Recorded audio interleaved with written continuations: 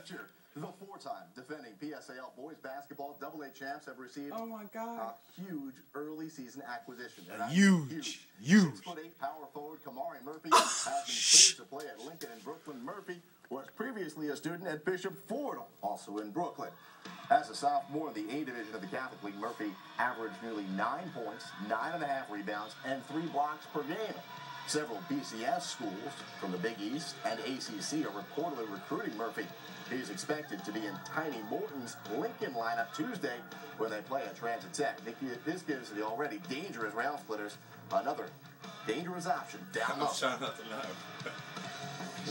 He help us make shots, you know, get rebounds, move the ball, you know, make the post better for us so we can feed the post more.